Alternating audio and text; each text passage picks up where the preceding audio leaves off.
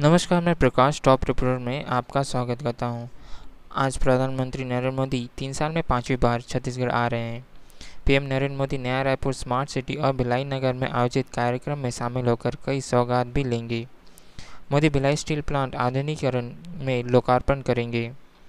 भिलाई नगर में जयंती स्टेडियम में दोपहर बारह बजकर तीस मिनट पर वह विशाल आम सभा को भी संबोधित करेंगे।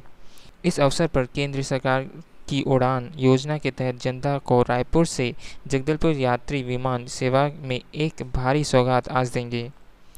उनके हाथों इस विमान सेवा के शुभारंभ के साथ ही प्रदेश के आदिवासी बहुल बस्तर संभाग, देश के हवाई यातायात के मानचित्र में शामिल हो जाएगी।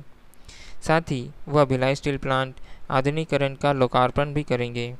इससे पहले वह भिलाई स्टील प्लांट का निरीक्षण भी करेंगे। इसके अलावा मोदी छत्तीसगढ़ सूचना क्रांति योजना के तहत पाँच छात्रों को लैपटॉप बांटेंगे।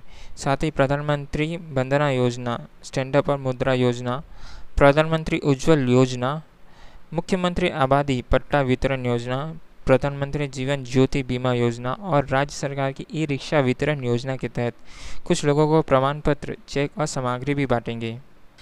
कार्यक्रम की अध्यक्षता मुख्यमंत्री डॉक्टर रमन सिंह करेंगे।